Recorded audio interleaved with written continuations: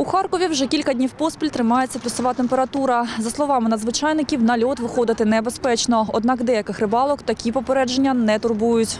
Лед сейчас 35 сантиметров. Не страшный пока. На Журавлівське водосховище вийшли рибалки. Серед них Віктор. Чоловік запевняє, про правила безпеки на кризі знає. У меня вот, вот, видите, ледобур. Я его собрал, попробовал. Можно заходить? Нет. И пошел. Одного карасика поймал. Кот меня из дома уже не выгонит. Я для кота хожу ловить. Всегда есть знакомые, которые постоянно рыбачат, допустим, люди старшего поколения, пенсионеры, как бы они предупреждают, куда лучше не ходить, куда лучше не соваться. Плюс береги себя сам. При себе иметь обязательно пешню. Это такой инструмент, которым проверяется толщина льда. Идешь и проверяешь.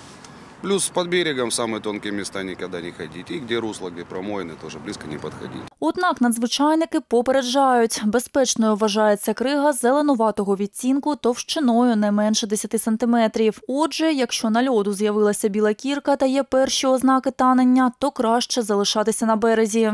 Але зверніть увагу на якість цього льоду. Так? Ви бачите, що практично по всій площі льоду ми бачите білий е, це сніг, це не лід. Це не, це не лід. І лід е, тільки він е, прозрачний, він може бути чи там синевою, чи там зелений такий. Це е, міцний лід. А це, що ми зараз бачимо, це десь там міцності його буде, товщина буде 10 сантиметрів. Тож рятувальники проводять бесіди з рибалками. А, рядом лунки не бьем. На белый лед не выходим. Рятувальники пояснюють, якщо поряд із вами людина провалилася під кригу, то необхідно відійти на безпечну відстань та підручним засобом намагатися їй допомогти. Самі ж бійці ДСНС користуються так званою соломинкою. Это соломинка называется. Вона э, накачиваете с помощью кислородного баллона, підсоединяється і наповнюється воздухом і розтягується на 20 метрів і все. І витягуємо людей. Людина держиться і ви бачите. І тягнемо людей витягуємо.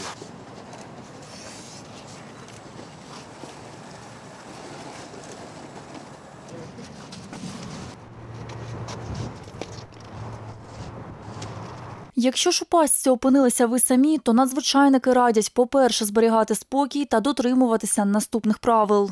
Необхідно насамперед е, намагатися скинути з себе одяг верхній, щоб він тебе не тягнув е, до е, ну, під лід. Е, Необхідно покликати на допомогу, потім вже далі необхідно самотужки намагатися вибратися на поверхню льоду. Е, І далі вже не ставати на ноги, а повзком знову ж віддалятися від е, небезпечної зони. Про правила порятунку знає й рибалка Ігор. Чоловік завжди бере із собою мотузку. Либо ремень, уж в крайнем случае хотя бы ремень, куртку с себя сними все равно. То есть от рукава до рукава уже метра полтора будет, все равно уже близко не подойдешь. Ложишься на лед, кидаешь ему. Почему ложишься? Потому что площадь увеличивается, соответственно давление меньше, уже меньше шансов провалиться. Цьогоріч на Харківщині потонули вісім осіб. Двох з них ще не знайшли.